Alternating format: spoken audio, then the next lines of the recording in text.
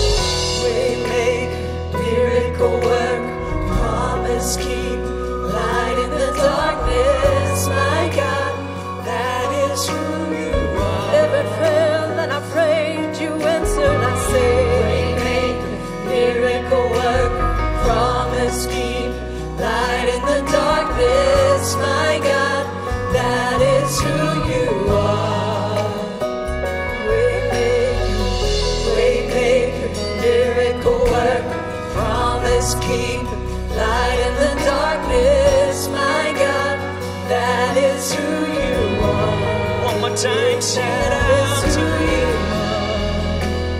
That is who you are. That is who you are. That is who you are. Oh, yeah, that is who. That's who you are. Yes, Lord. That is who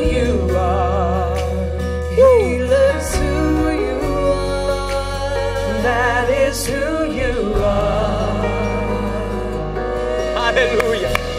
Lord, we worship you. That is who you are, Jesus. You're a way maker where there seems to be no way. Oh God, when we can't see, Lord Jesus, the light at the end, you make a way. Oh God, when things seem hopeless, you are our hope and our strength. You are our provider and our way maker. And we worship you and we exalt you. Thank you, mighty God. We magnify you right now. We exalt your holy name. Oh Lord, you're so good to us. Thank you, Lord. Thank you, Lord. Thank you, Lord. Praise God. It feels good in this place today. And I am so very thankful for the presence of the Lord that I truly do feel right now. So good to have all of you who are online having church with CT today. It's our honor to have you and thank you for being with us. Thank you for uh, watching and being a part and having church with us each of these Sundays that we've been together. And um, I thank you for that. There is hope. It's coming, and I can't wait for that day. Um, but we got to continue to uh, remain patient. I know that that's difficult and keep right spirits about us during this time. And we will continue to listen to the counsel and advisement of our government officials and our state officials as to when we'll be able to meet again. So hang in there. They've given us a plan and we're getting near that time. But until then, let's just continue to have a move of God right where we are and to allow God to speak into our hearts, into our spirits.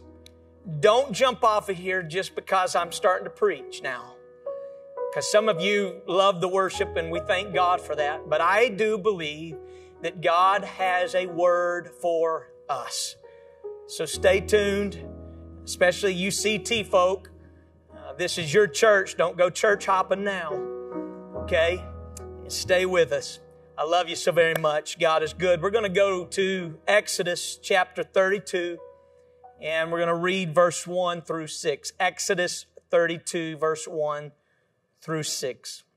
And when the people saw that Moses delayed to come down out of the mount, the people gathered themselves together unto Aaron and said unto him, Up, make us gods, which shall go before us. For as for this Moses, the man that brought us up out of the land of Egypt, what's become of him? And Aaron said unto them, all right, break off the, the golden earrings which are in the ears of your wives and your sons and of your daughters and bring them unto me. And all the people break off the golden earrings which were in their ears and brought them unto Aaron.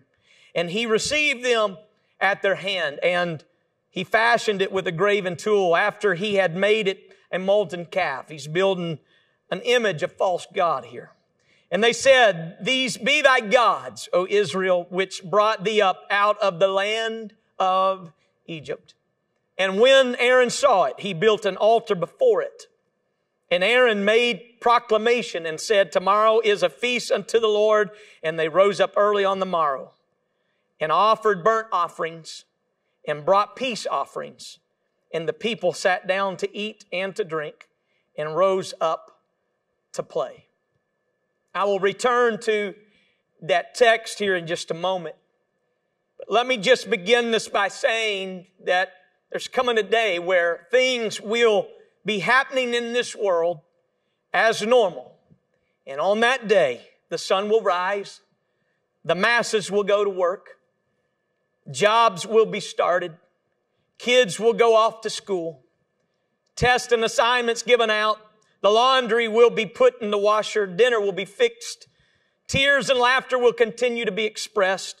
Funerals will be in progress. The maternity ward will be rejoicing over a new birth. Church will be opened and it will open with a powerful song and prayer. Nothing will change from the normal routine life as we hopefully we'll enjoy again very soon. But on that day, the Lord will look at his appointment book and he will call for Gabriel to come to the throne. And he will say, Gabriel, today is the day.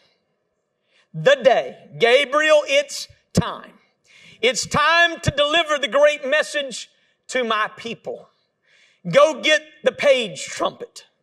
Announce to the angels to gather at the entrance of the city. We are about to have some guests. Let the angelic choir know we have some more about to join the choir. Some of you who can't sing should be rejoicing about that. Today you play before a host of believers that will hear the sound of your trumpet. So play it good and play it loud and play it clear. Stop all the activities of heaven to await the arrival of the redeemed. And something will happen then.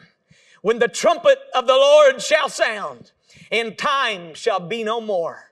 When the morning breaks eternal, bright and clear. When the saved of earth shall gather over on the other shore and the roll is called. Oh, when the redeemed are gathered in. The redeemed of God are going to march into a city and see the one who died for them.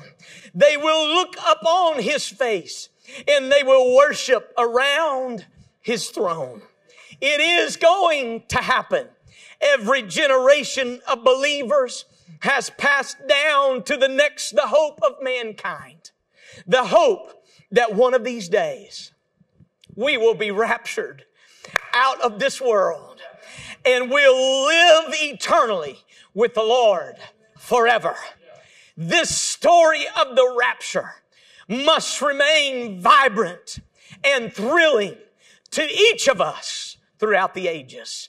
We must maintain our hold on the truth that has been given to us. I can't begin to guess when he is coming. I will not even pretend to stand before you today and predict when that time will be. No man knows that time. I thought that we would have already seen the rapture, but the Lord's timing is not mine and it's not yours. Many signs of the end have, have taken place and, and now we await his coming. But rest assured, Rest assured, He will come. He will come. He is coming. For some reason, He has delayed His coming. The scripture talks of this as it reminds us that in the last days there would be scoffers saying in 2 Peter 3 4, Where is the promise of his coming?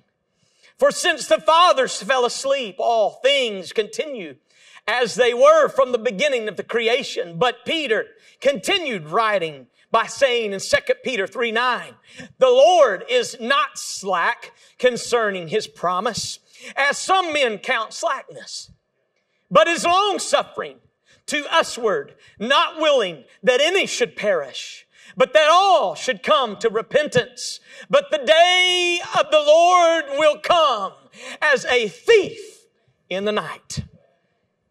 Now, please hear me today. Regardless of our theological beliefs and personal opinions, Jesus Christ, the Lord of hosts, the Lord of the Lords, and the King of Kings is coming again to take his people out of this world. It's going to happen. But the problem is the delay. I don't know of anyone that just loves delays. I, I, I don't like being delayed in traffic, delayed meals, delayed tax returns, Delayed stimulus checks. Come on, somebody. Delayed medical care. Delayed flights. We don't like delays. I haven't met a person that was like, I love to wait. I've never met a person who's like calling and saying, you know, I would just love to be put on your waiting list. If you could just put me on your waiting list, you know, that'd just be awesome. No, no, no, no, no, no. We're only on a waiting list because there's people in front of us that, come on, somebody, help me right now. We don't like to wait. We don't like delays. We don't like that. If we're being honest, I, I was traveling somewhere a few months back when you could still travel and my flight was a little bit delayed and so I went I went just around the corner of the gate. It was kind of a weird layout. That gate, that particular gate was was that I was at was tucked in a corner and so there weren't very many seats and so they were all full and so I, I or or they were just people that I, you know were too close and and there weren't enough seats in between them. It's probably the the bigger truth, but but regardless, I, I went around the corner and I just waited. I put some headphones in and I was listening and, and I was just kind of sitting there against a wall and and all of a sudden it occurs to me, you haven't checked your flight in a while. And so I um, jumped up and I went and sat down and I was like, man, the gate is like super empty right now. And so I'm just sitting there in the gate and I'm like, well, seats opened up. I guess that was the previous flight. And then I look up at the screen, only to realize that I missed my flight. They had just shut that gate. And as I ran up there, the lady so very kindly told me, and that's a lie.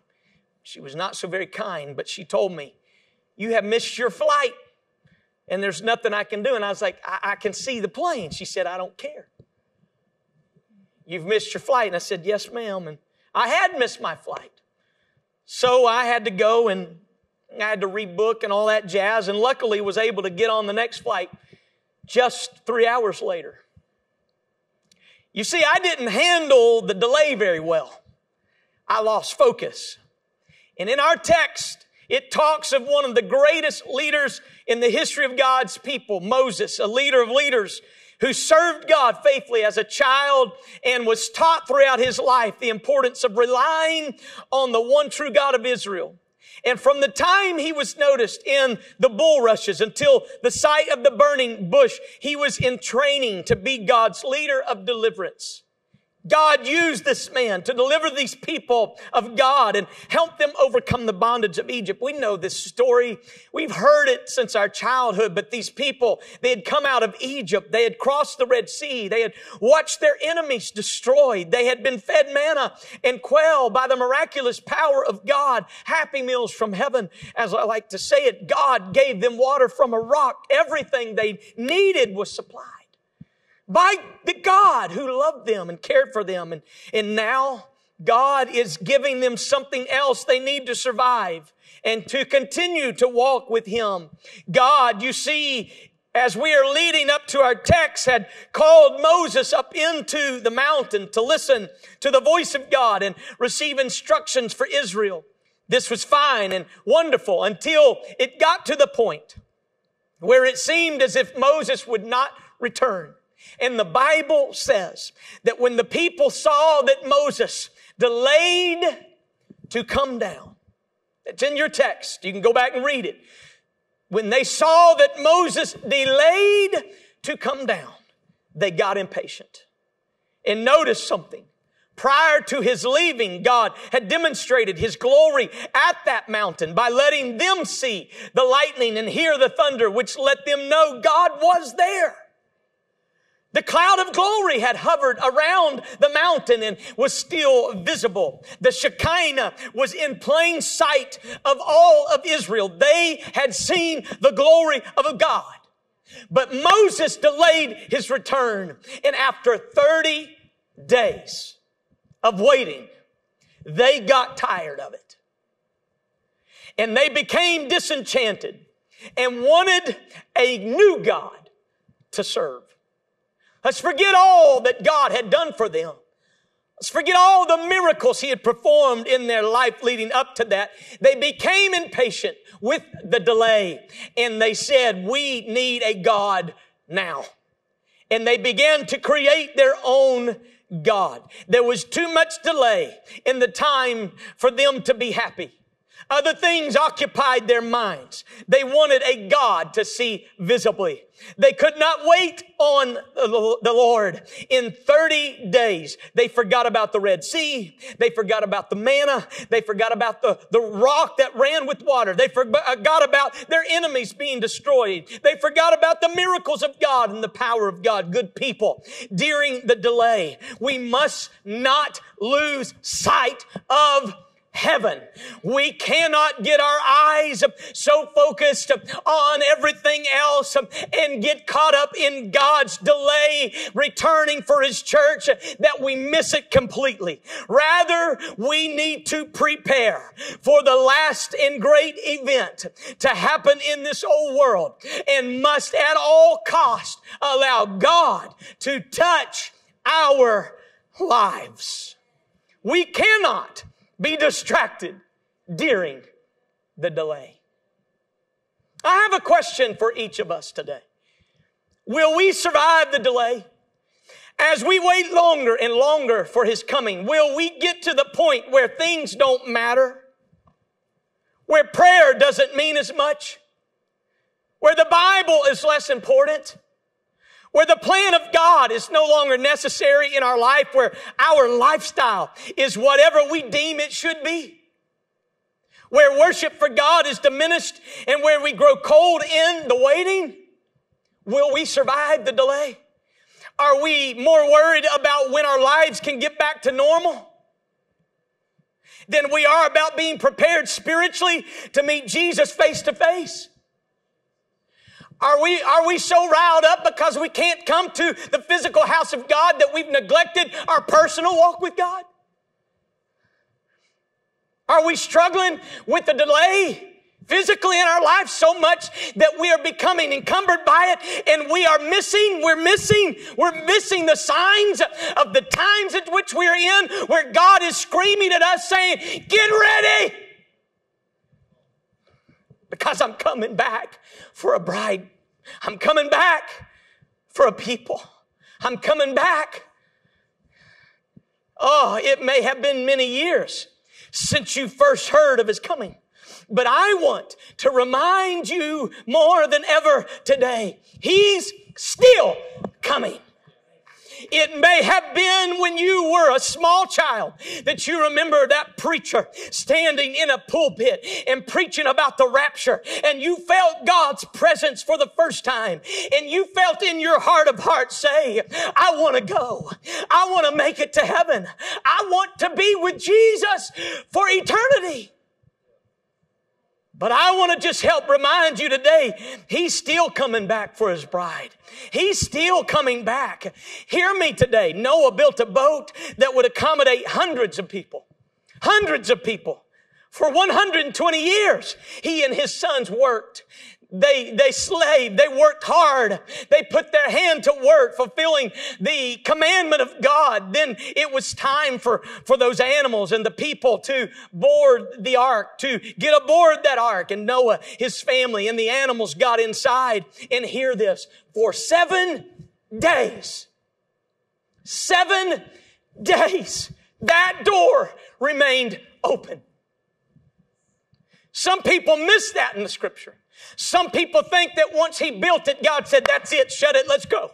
No, he left it open for seven days. It remained wide open for anybody else to enter into that ark. Noah built that ark and God, and he had preached that message for people to come in. God, you hear me? God delayed the closing of that door. I wonder how many people got in that boat originally. I wonder if some went inside of that boat, but they got bored and they left because of the delay. How many walked in for a few hours and they looked around and, and they sat and they visited for a little bit and some of them said, I can't handle this stench. I'm out of here. I can't do this. This is ridiculous. There ain't no rain. There's nothing happening around here. How many walked in for a few hours but couldn't stand the thoughts of being cooped up so they left? They walked out of that ark. I personally think that others may have, have entered inside and looked around, but because God delayed that rain, they left.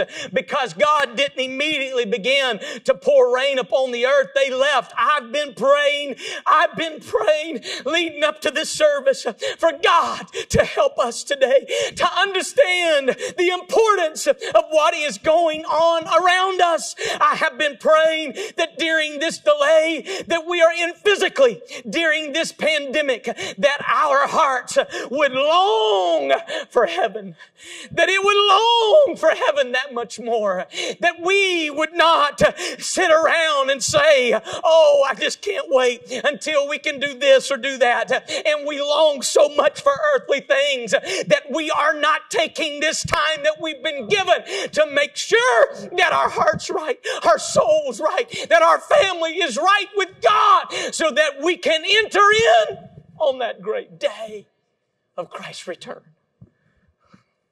You say, Pastor, you're, you're a little fired up today. I am fired up today. God has been dealing with me all week. God has been speaking into my spirit. He's been telling me, wake up, wake up, Dean. Don't you see what I'm trying to do? Don't you see what I'm trying to speak to the church? And so I'm here as the voice of God to CT family and anybody who's watching and listening to tell you, don't waste this opportunity. Don't waste this window of grace that God has given us. But you better make sure that you and everybody that can go with you is ready for that great day because you hear me. This word of God promises us that he is coming back for a people. Hallelujah. Hallelujah. Hallelujah. He's coming back. He's coming back. He's coming back. Oh, I've been praying that God would stir us up as a people, as a society to say during this physical delay, I want to prioritize my spiritual life so that I will not lose sight of heaven. Some, they sit and never make a move towards God and still feel comfortable about it. In the midst of everything that is so chaotic around us, you have not been moved one time to increase your prayer life, to develop a, a consistent walk with God every day to get rid of some junk and some mess that you've allowed into your heart over the years, some bitterness and pain and heartache and, and some addictions and things that have been holding you down. You're still holding on to them. You hear this preacher today. It is high time for us to wake up to what is happening in our world today. Wake up to the reality that God is bending over heaven right now. And he's saying, get ready, get ready, get ready because I'm coming and I'm coming soon for a people who love me more than anything else in this world. We must not be lulled to sleep by the delay. I don't know God's time frame. I'm not here trying to speak and provoke fear into your life. I'm not here to do that.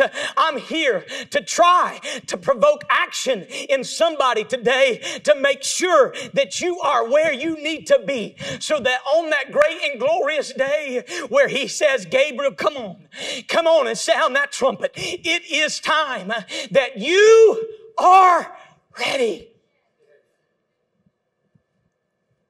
Hallelujah.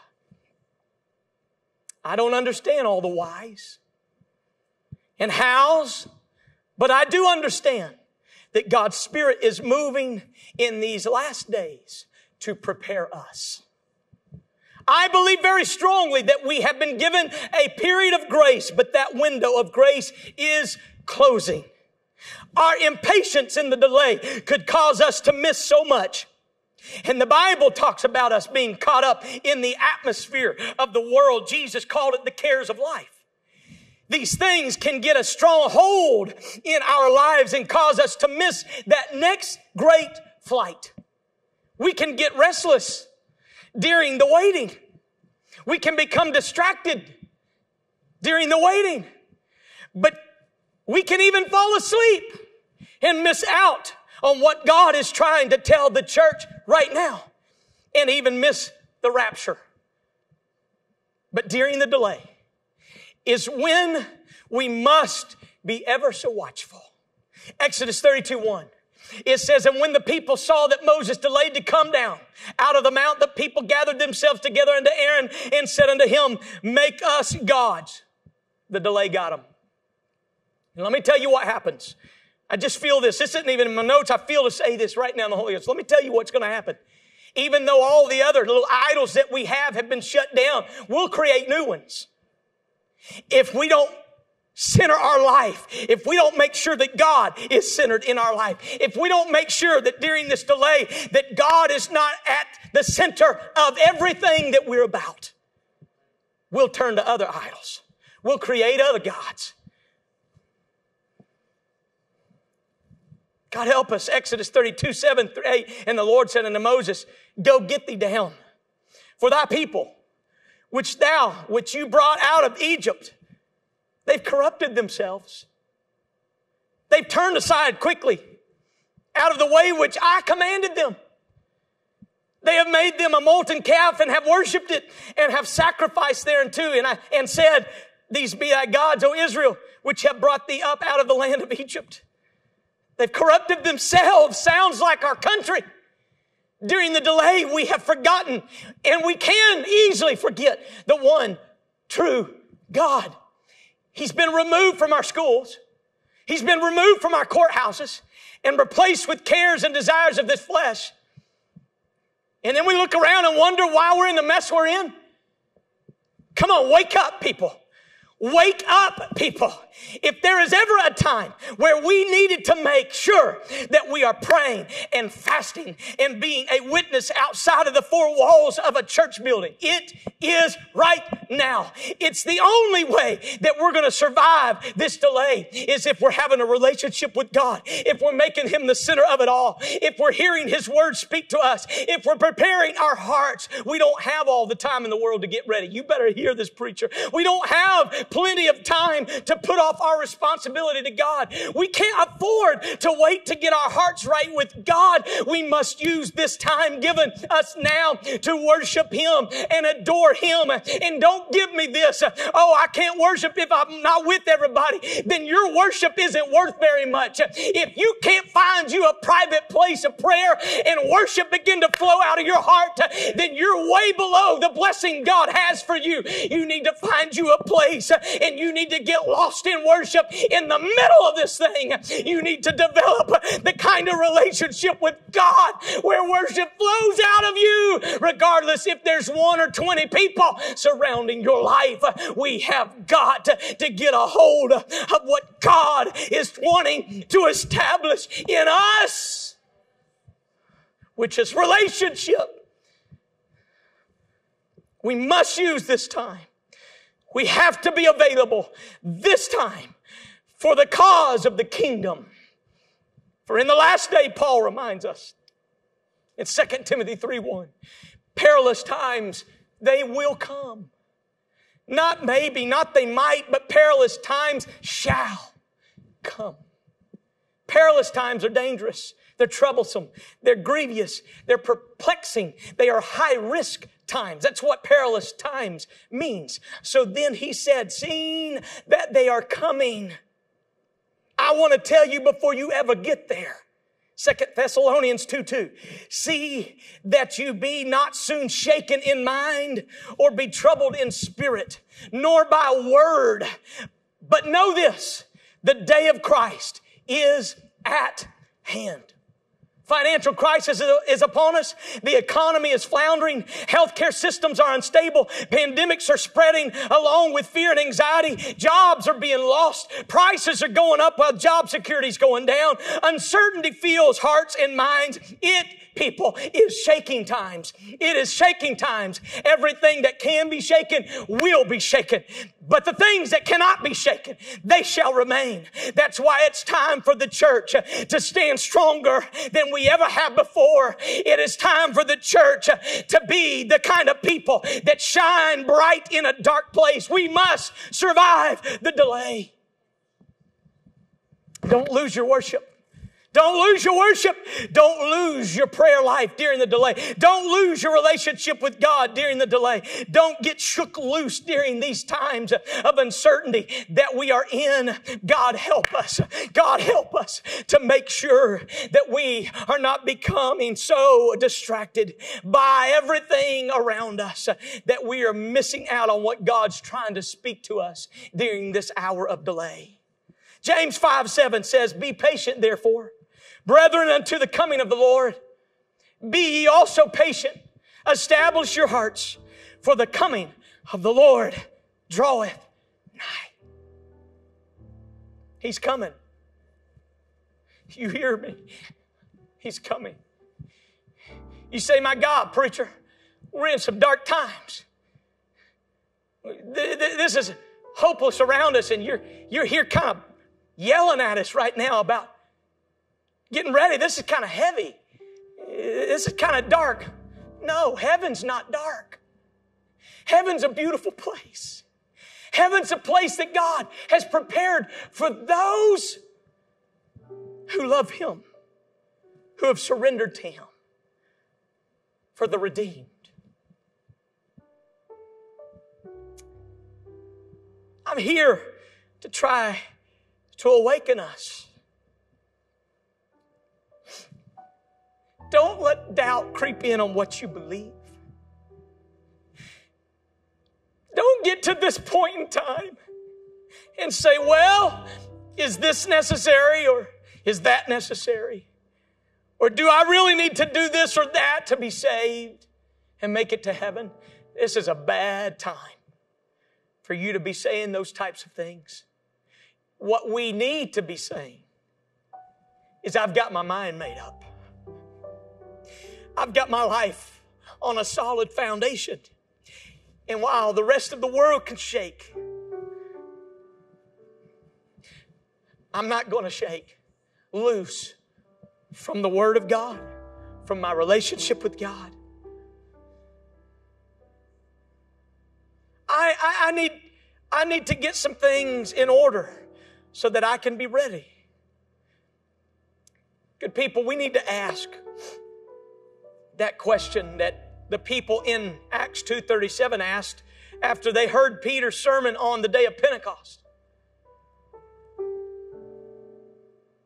When they heard Peter's sermon, they were cut to their heart and said to Peter and the rest of the apostles, Men, brethren, what shall we do?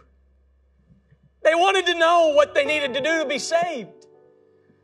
Does anybody still want to know what you got to do to be saved?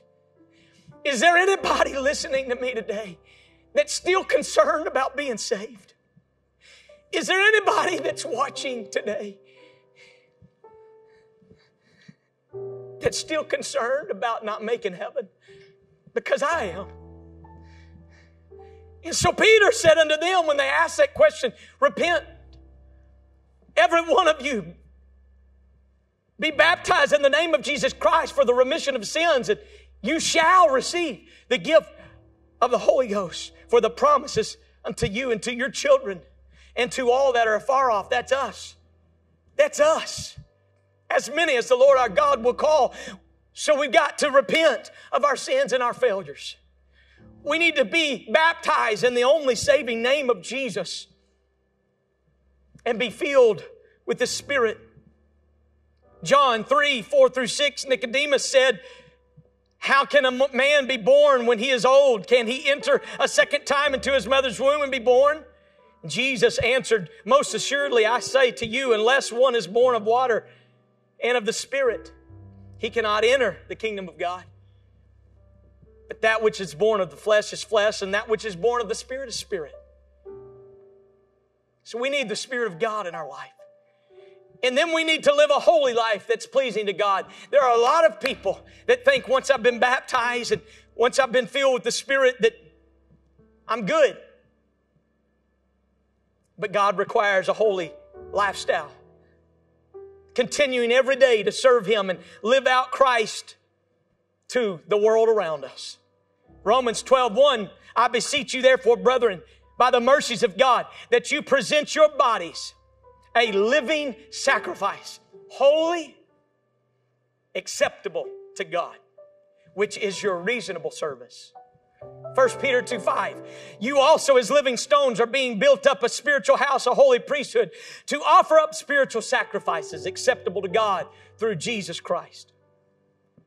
So I ask us today, and I've gone a little longer than I had planned, but I ask us today, will we survive the delay? You can, but it's your choice. I can't make you do anything for God.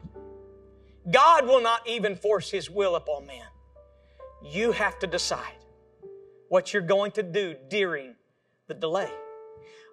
Are you getting caught up in all of the distractions? Are you preparing yourself for Christ's return? Have we fallen so in love with our lives down here that we have stopped preparing ourselves for a life over there? Oh, hear me. His delay is not his unconcern for us, but rather our opportunity to prepare. It's our seven days with the ark door open for people to come in. So don't miss it. Please don't miss it. I'm begging you. Make a decision today. Because delay, delay is not denial of God. Delay is not even defeat, but it's preparation. So let's prepare. Let's pray. Let's fast. Let's study and show ourselves approved unto God. Don't get lazy during the delay. Don't miss it because He's coming.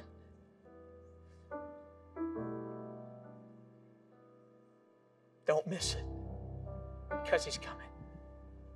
I was talking to my wife, Heather, just a couple of days ago, and I said, You know, I wonder. I wonder if we've got it so good down here that we no longer long and want for heaven. I wonder if we're so blessed. I wonder if, if everything's just good enough to where that desire for heaven to be with Jesus forever has waned. So I'm going to ask you right now. I'm going to ask you with me to reconsecrate yourselves. I'm going to ask you today to join me.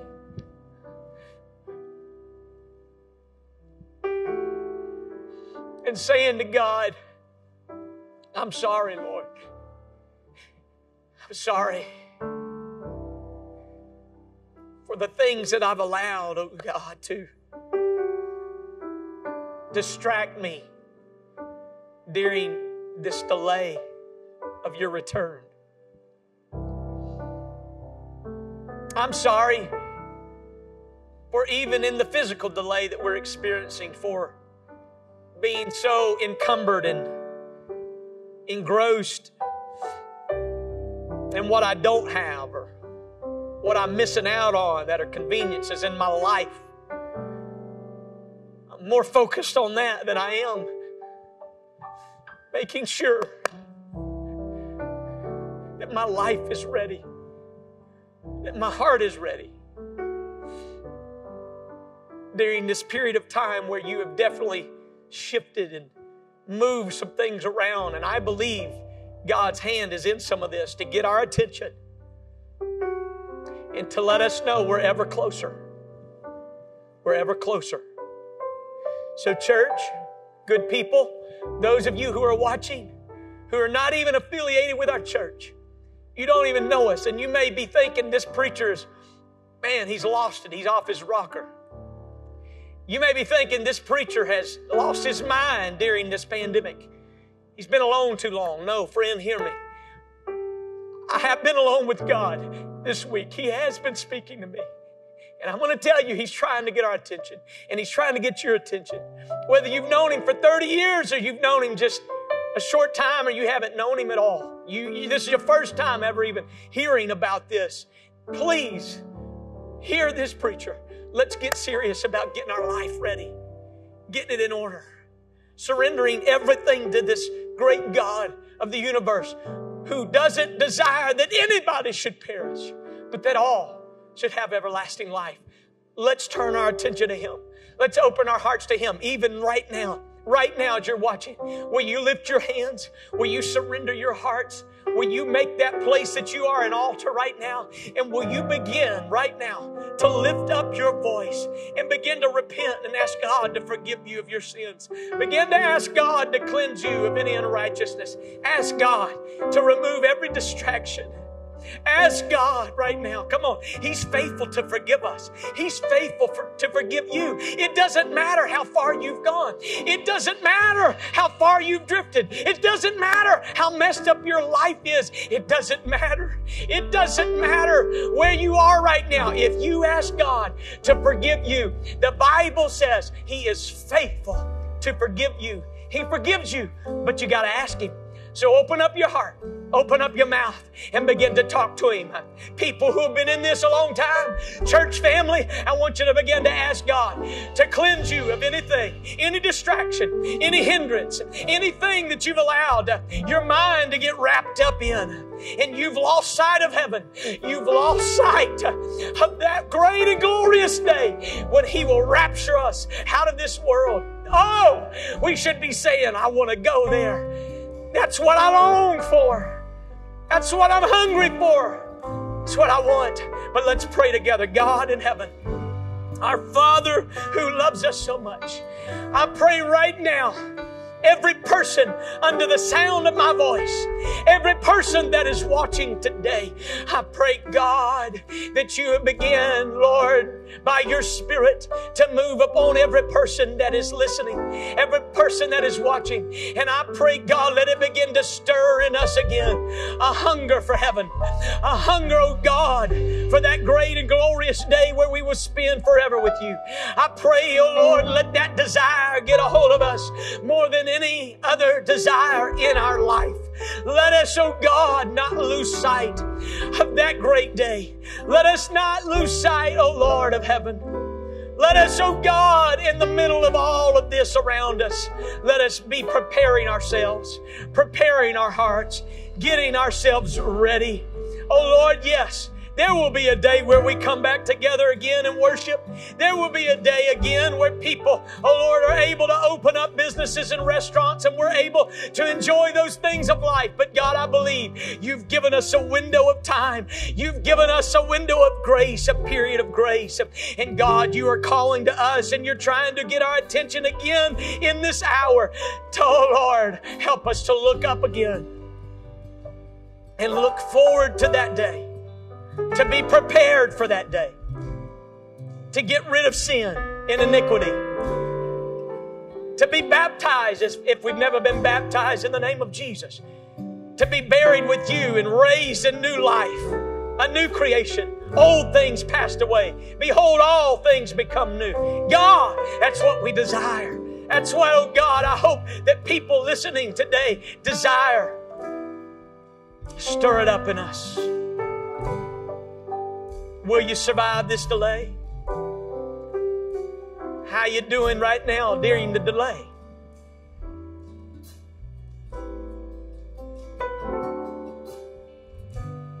That's all right. Seek Him. That's all right. Let tears run down your face. That's all right. Let God begin to minister to you. Let God begin to show you what love feels like what true love is as He wraps His arms around you right now. I, I, I know, I know, I know. It's just a little different today. But God's Word is speaking, it's trying to alert us that He, he is coming back. It's trying to remind us He is going to come back. But don't, don't, don't get caught up in the delay. Don't become just a casual observer standing by, but get yourself ready. Get your family ready. Hallelujah. God, I pray that you would speak to them right now. Thank you, Jesus, for it. I love you, good people. I want you to be ready. I don't want you to miss it. God doesn't want you to miss it. It's all right. Go ahead and continue to pray if you feel that pull upon your heart. I hope that you do. I hope that you feel what I've been feeling all week. I hope that you feel that tug upon your heart. I hope that you desire heaven and to be with Christ more than anything else. Jesus' name.